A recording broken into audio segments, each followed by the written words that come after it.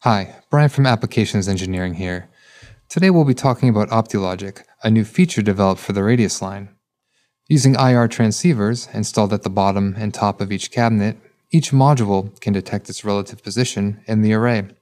A typical line array leaves it up to the user to identify and assign correct modules in the right order and then process accordingly. This opens the system up to user error. If something is processed wrong or out of order, it can have catastrophic results in the performance of the array. OptiLogic is a huge time saver and allows you to process an array as a whole and does so automatically. The cabinets also have an inclinometer on board, which will automatically detect each module's splay angle. Now let's talk about what is happening when OptiLogic is activated. OptiLogic performs two actions. First, it compensates for the size of the array and takes low frequency coupling into account.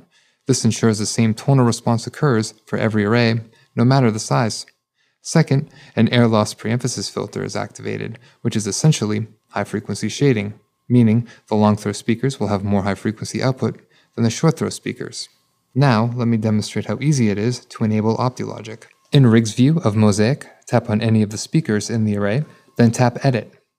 Under the OptiLogic section, tap Optimize, then enter your front and rear audience coverage,